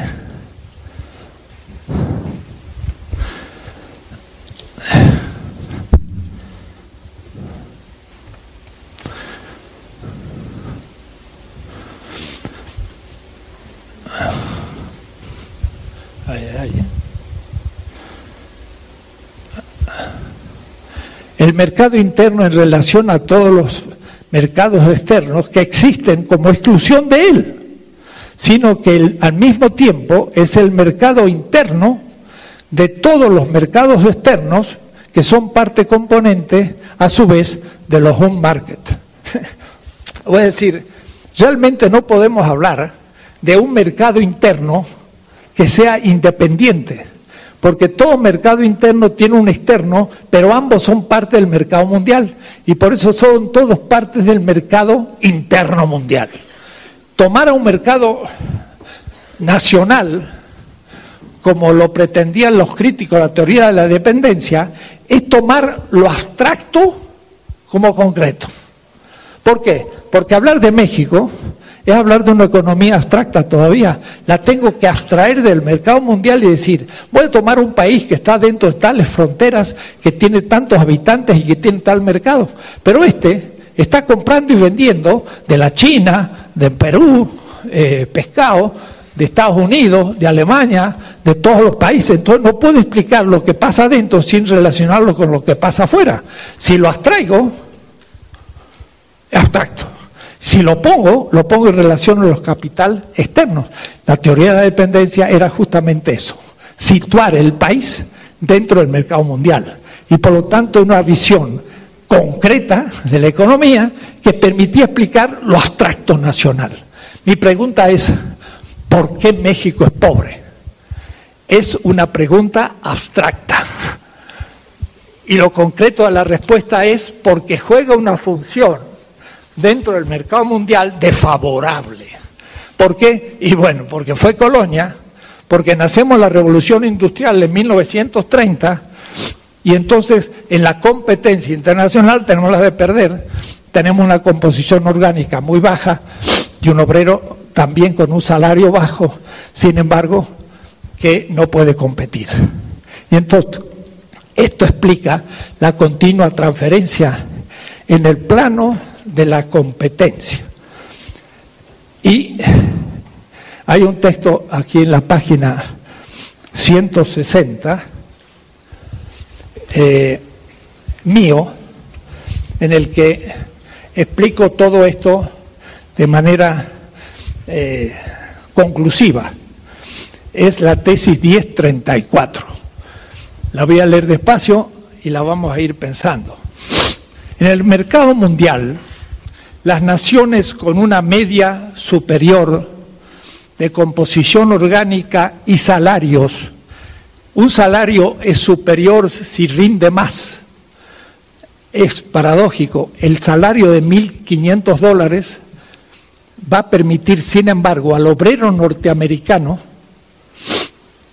disminuir el valor del producto, de sus productos individuales, que el menor salario del mexicano.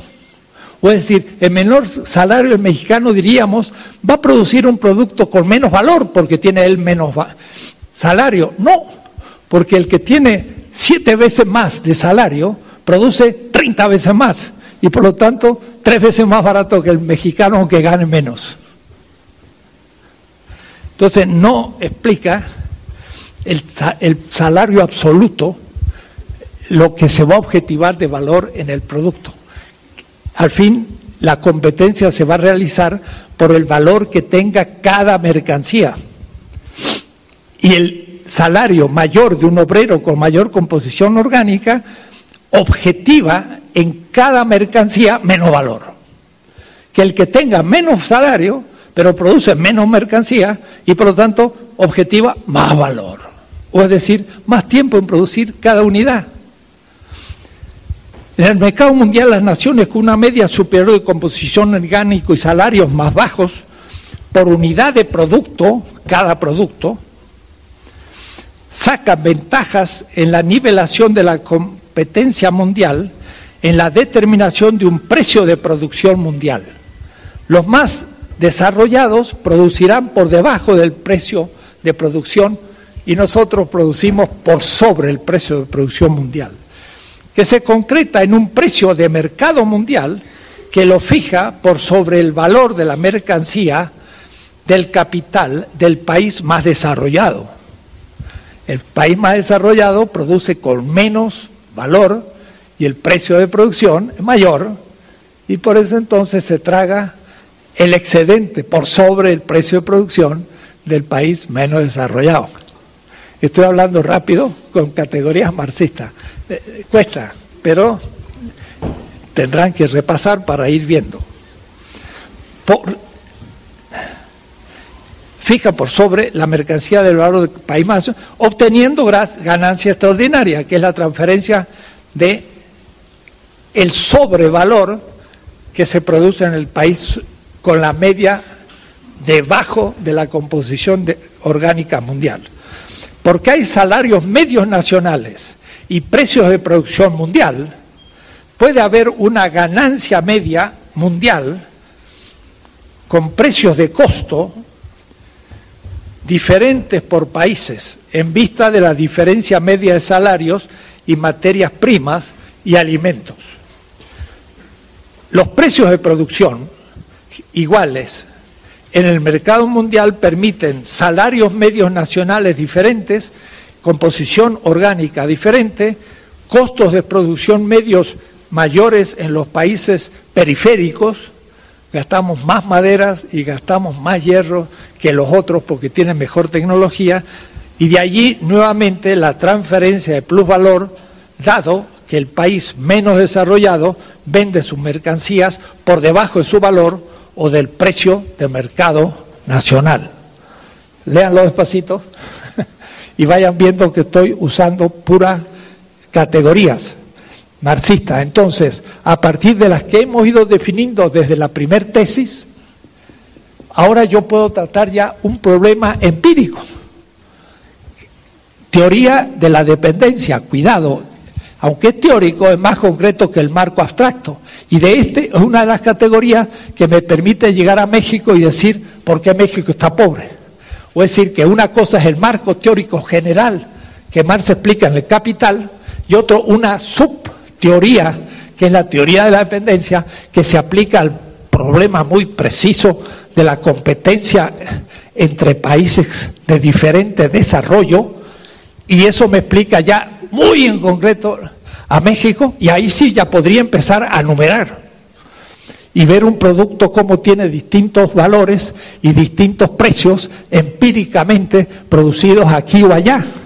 Y entonces, miren los niveles que tenemos. Marx está situado al nivel más universal de una teoría, llama él estrictamente, un sistema de categorías. Y dice, de lo que se trata es la crítica del sistema, de las categorías de la economía política burguesa. Eso es lo que él hace y del cual nosotros podemos hacer subteorías para muchísimos temas, hasta llegar al problema de Iztapalapa, ¿por qué Iztapalapa está ahí la gente pobre? De México, y dos millones. Y podemos llegar a ver hasta la espacialidad de México, ¿por qué se agolpan en una delegación mayor cantidad de pobres que en otra? Y eso se puede explicar por las categorías. El capital tiene espacialidad y tiene tiempo y tiene muchas cosas. Entonces, eh, después de todo esto, un eh, tema sería el de qué significa un capital global mundial, para después llegar al tema de las próximas tesis de la globalización. El capital global mundial, ya dije, es un concepto. Un concepto no significa que sea irreal o abstracto, no, es un concepto concreto y que tiene un contenido real. Sin embargo, dije, no es medible en este momento hasta sus últimas consecuencias, porque realmente tendríamos que tener una estadística mundial eh, perfecta, computarizada, y no lo tenemos en este momento, porque sería la suma de todos los capitales del mundo, de todos los países. Pero el concepto se entiende, así como se entiende que ese capital global mundial es la totalidad del valor creado por los seres humanos de toda la humanidad. Y cuando entonces se habla de capital mundial, sin embargo, habría que diferenciarlo, porque el capital financiero es muy fácil de mundializar. Capital financiero está dentro de un sistema que ya veremos en su momento, más en pormenores, pero es el capital de los bancos. Y estos bancos sí pueden tener una unidad entre ellos, comunicación, y está cuantificado. Y ahí sí podemos usar la matemática, porque hay libros de contabilidad en todos los bancos del mundo y hay estudios aproximados muy eficientes y podemos decir que el capital mundial en este momento se moviliza con una velocidad tan tremenda que hay países, que hay bancos, según he escuchado, que pueden cerrar sus operaciones en Europa y abrirlas en India eh, horas después y mandar todo su capital del Banco Europeo al barco hindú y trabajar ocho horas, que es lo que trabaja en el día hindú, y a la noche cierra las cuentas y los envía de nuevo a Europa y el capital vuelve a trabajar ocho horas en Europa. Ahí sí que, como decía Carlos V, en su reino no se pone el sol. Y puede trabajar el mismo capital en dos países. ¿no? La velocidad es instantánea, gracias a los medios de computación, y la mundialidad es evidente. El capital comercial ya es más, más difícil, porque tiene que trabajar con las mercancías materialmente. Sin embargo, lo hace porque puede exportar y exportar a todos los países del mundo. Made in China, Made in aquí, Made in allá, y vemos que esos productos se movilizan. Es el capital mercantil o comercial. Es el que compra el producto al industrial y lo comercializa y lo hace donde sea en todo el mundo. Y un tratado de libre comercio justamente fue quitar trabas a los productos de dos países, mercancías, y por lo tanto hacer un solo mercado comercial. El capital industrial ya es distinto, porque el capital industrial tiene un cuerpo, es la empresa, tiene máquinas, y entonces ya no se puede universalizar tan fácil. No lo puedo colocar en Nueva York a la mañana y después a la noche transportarlo a Delhi. No puedo. El capital financiero sí, está localizado. Entonces el capital industrial ya es mundial por la suma, pero no por su movilidad. Pero el capital industrial no son solamente las máquinas, los medios de producción, sino que son también los obreros y entonces ahí nos viene muy bien el cómo el salario y el obrero entra en la definición del tema de la relación y competencia entre naciones. Es a ese nivel del cuerpo donde empieza a verse que el, el capital global mundial va a tener determinaciones diferenciales por países. Es mundial en cuanto que es la suma total, pero no es homogéneo ni se puede movilizar con la facilidad del capital financiero y comercial, el capital industrial. Y el capital industrial entonces va a tener por países medias de composición orgánica, países con más industria o con menos, y sobre todo de salario. Y los salarios significa diferenciación del trabajo. A ver si acierto en este texto de la página 163. Los capitales invertidos en el comercio exterior pueden arrojar una tasa de ganancia superior porque en primer lugar, en este caso, se compite, yo digo, no se dice se intercambia, se compite con mercancías producidas por otros países con menores facilidades de producción. Miren que el mismo Marx aquí utiliza una palabra ambigua, pone menos facilidades. y la palabra facilidades no es una categoría. Tendría que haber puesto lo que él pone en otras partes, menos composición orgánica. Eso significa tener menos facilidades en la producción. De modo que el país más avanzado vende sus mercancías por encima de su valor, y el aún que lo quito, más baratas que los países competidores. Bueno, esto está explicando de nuevo que en, la competencia el capital industrial no se puede movilizar tan rápido en el nivel mundial y por eso entonces que la competencia es posible. porque hay diferentes composiciones orgánicas. Un último texto mío. Esto produce un empobrecimiento global del país subdesarrollado y un enriquecimiento proporcional de los desarrollados, de su burguesía, pequeña burguesía, clase obrera, campesina y pueblo en general. Este es el tema. Entonces, el obrero norteamericano la pasa mejor. El campo político, esta situación exige una lucha contra la dependencia para impedir o negar esta transferencia, que ahora entre nosotros se produce de una manera escandalosa, pero ya no por competencia, sino van a ver ustedes los mecanismos del monopolio. Entonces puede uno entregar riqueza por nada, se lo regala, o haciendo un pésimo negocio, pero en el fondo no hay pésimos negocios sin intereses, porque alguien se beneficia, quizás el que haga el negocio, o vaya a saber. Y entonces vamos a ver siete mecanismos monopólicos que son en realidad el tipo de relación que hay entre países, que ni son económicos, son por pura violencia militar en primer lugar. Porque por último, un país como Estados Unidos puede exigir que se le pague, primero puede hacer un boicote económico, pero por último lo puede invadir. Y entonces ante ese hecho ya, ah, ¿qué hacemos? Y toda la época colonial, donde nos sacaron el oro, la plata, todo, vendieron esclavos, seres humanos, ¿qué, qué tipo de reglas económicas había? Ninguna. Era el puro monopolio.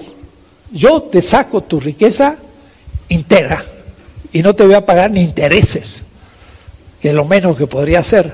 Ni eso. Nos robaron el oro y la plata. 20 mil toneladas en el siglo XVI del Potosí sacaron. De plata, 20 mil toneladas. Miren si la sacaba al 2% anual desde 1546 hasta ahora. Cuatro siglos. Todo el capital mundial no podría pagar a Bolivia lo que le robó. Ah, pero no era un robo, era una ley del colonialismo. ¿Cuál ley económica? Del monopolio. Pero el monopolio no es económica, es política. Es la violencia y tú cállate. Entonces, así no anda la economía. Pero ellos se basan en eso. Por eso la Rosa Luxemburgo muestra que en realidad el capital funciona no por pura acumulación de plusvalor, actúa siempre por acumulación primitiva. La riqueza que sale no del capital, sino de ámbitos que no son económicos y que se los roban. Y, entonces vamos a explicar cómo el capitalismo va creando nuevas maneras de robar riqueza y en sus teorías las hace aparecer como económicas. Y ahí está el fetichismo de la ciencia de la economía que se enseña en Yale, Harvard y en todas partes, porque si uno le muestra estas cosas, bueno, eso son exigencias éticas y la ética no tiene nada que ver con la economía y ya quedó usted fuera de toda elaboración. Lo que pasa es que esto es una teoría, pero además es una ética. Pero ellos la descartan porque les destaparía el juego que hacen y como tienen el poder de los medios de comunicación y las universidades y todo, pues pueden tapar la realidad claramente y debo decir que ni, lo creen que, están tapando porque están muy convencidos, sobre todo sus teóricos, to think, los, los tanques de pensamiento, los nuevos mandarines, le lleva Chomsky, son los grandes economistas que encubren el sistema con una teoría monetarista, se mueven dentro del precio del, del capital financiero para estabilizar eh, que no haya de inflación y que haya estabilidad monetaria, y esto es la economía, pero todo lo demás lo ignoran y, con, por la estabilidad monetaria venden los países y los empobrecen y no pueden eh, ni siquiera tener visión del asunto. Entonces, eh, decía yo, la explotación de un capital también supone la de su pequeña burguesía, no, la riqueza de la clase obrera campesina y del pueblo en general. En el campo político, esta situación exige una lucha contra la dependencia para impedir o negar esa transferencia. Lucha que se denominaría con precisión como lucha de liberación nacional, que ya no cuenta con buena prensa. Hablar de liberación nacional, eso ya hace en otra época. Eso, pero hacer que la energía de México pueda ser usada por México, eso sería luchar por la autodeterminación nacional. Y ahí necesitaríamos muchísimos tecnólogos para poder extraer nuestro petróleo, haciendo una gran facultad de ingeniería de petróleo, metiendo muchísimo dinero en formar 10.000 ingenieros en cinco años, y lo podemos hacer, pero no, se ha fundado ni la primera escuela de ingeniería del petróleo. Entonces, ¿por qué? Ah, porque es más fácil decir a una transnacional que lo ponga. ¿Es más fácil o es justamente una decisión política, ética, de entrega de un país? Entonces, eso ya es el nivel político, pero el nivel político queda fundado en este análisis económico. Eso sería la liberación nacional y del pueblo, y del pueblo con toda la ambigüedad, ambigüedad que esta expresión pueda contener ¿eh? y que será necesario clarificar para acotar un significado sin equívocos, que eso lo hace la filosofía política y mi libro 20 tesis de política y mis tres tomos de filosofía política de liberación va a aclarar qué es pueblo, cómo el pueblo es el sujeto histórico y de la liberación nacional, pero también de justicia internacional. Pero esa política se funda en la economía y esta economía funda la política. Y entonces hay una mutua determinación sin la cual ninguna de las dos funciona y la economía no es la última instancia, sino una instancia en esto. Quiere decir que la política, como las 20 tesis que he denominado, las 20 tesis de la política, la política, están determinadas por estas 16 tesis de economía política, que es la justificación material, pero material por el contenido de vida, no porque sea material, contrario espiritual. Lo material es el contenido de vida, porque la economía al fin, vimos, era objetivación de la vida humana.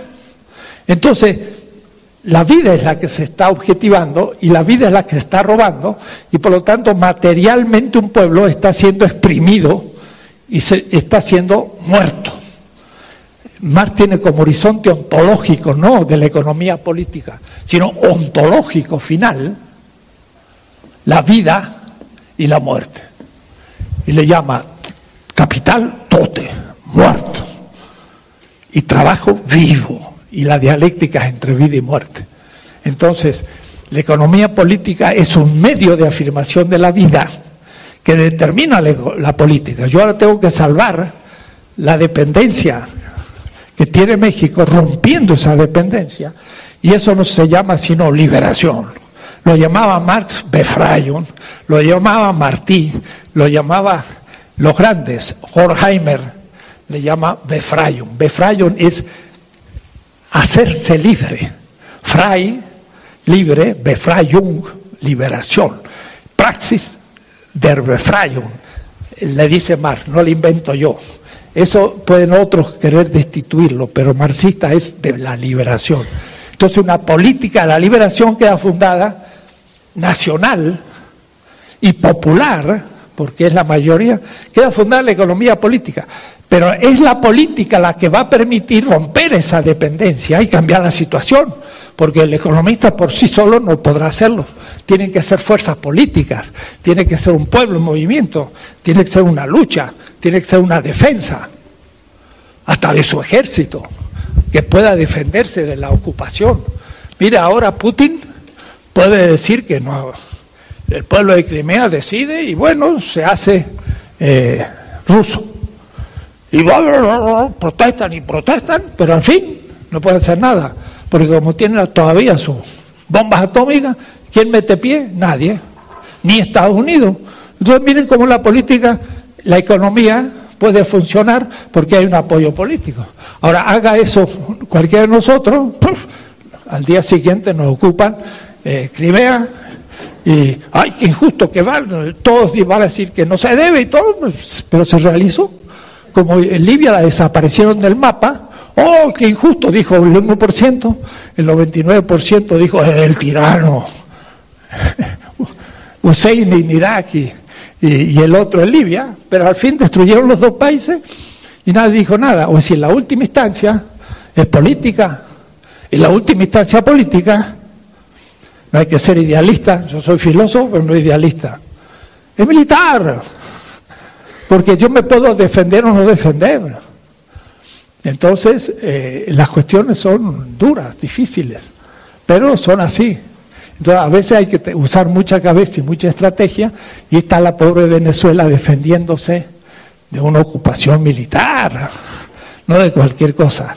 Si deja que esa oposición sea más fuerte, se puede dar la situación de Libia o Siria que empiecen a ayudar más a esa oposición y un gobierno democrático puede derrumbarse con el 10% de oposición. Es una lucha política, pero de consecuencias económicas. Es la mutua determinación. La política no es supraestructura y la teoría menos, no es ideología. La teoría es la que está explicando ambas. Y si en ellas no lo veo, y si no lo veo, no existe. Entonces la crítica es teoría, y la teoría es fundamental. No es supra, es infraestructura. Está debajo de las estructuras futuras que van a cambiar. Entonces es, justamente idealista pensar que va a haber una política sin teoría y, y una política sin economía y una economía sin política e ideología. Pero no son las únicas tres, hay muchas otras determinaciones. ¿eh? Estas eran las instancias tradicionales. Para mí hay un campo económico y hay sistemas económicos. Sistema capitalista no es el campo económico, no instancia. Y luego hay un campo político y hay un sistema político liberalismo, y el liberalismo puede determinar al capitalismo y el capitalismo al liberalismo. Cuidado, no he dicho la economía, la política, sino el sistema político liberal en el campo político, que no es lo mismo campo que el liberalismo, que es un sistema, puede determinar al sistema capitalista, que no es político, como el liberalismo, sino económico, del campo económico. Entonces, este, el liberalismo determina la economía, claro, hace un Estado en favor del capitalismo, la revolución inglesa, hace una constitución liberal, eh, John Locke, teórico, muestra que la propiedad privada es derecho natural, que es en torno al cual el Estado debe organizarse, le hace un derecho de propiedad, de herencia, de todo, de todo. Es decir, la política liberal determina los derechos para que sea posible la economía capitalista. Pero la economía capitalista a su vez es la que le va a pagar los impuestos, la que va a hacer las exigencias y todo al poder político. Y el poder político va desde el capitalismo sacar toda su potencia para articular el Estado y todas sus instituciones. Y ven, ¿cuál es la última instancia? No hay última instancia. Dijo Engels, la última instancia, y usó la palabra leste instance. En la interpretación materialista de la historia, y materialista no es materia cascote, sino materia contenido la última instancia en la interpretación materialista de la historia es la vida y la vida inmediata. ¡Wow! La vida. Y la vida es la esencia de la economía, la esencia de la política y la esencia de la teoría. Y no es ni teoría, ni economía, ni política, es el fundamento último, la vida humana. Esa sí que es última instancia. ¿Y, qué es lo que hace el sistema capitalista? Muerte. Entonces es, es una ontología, es una ética de la vida. Yo he escrito una ética, 700 páginas, una ética de la vida, Está inspirada en Marx, pero va mucho más allá porque es del siglo XX al final, con todos los autores contemporáneos. Entonces, el tema es la vida, no es estas, estos campos que están determinados por ella. Lo que está a riesgo es la vida. Y entonces más grave la situación.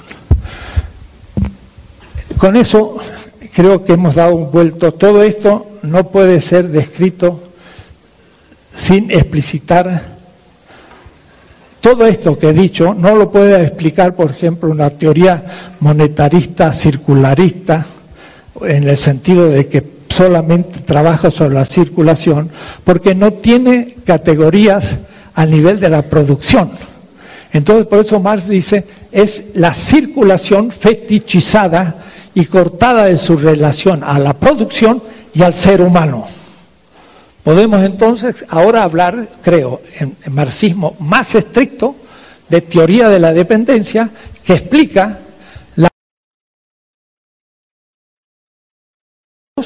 por su composición.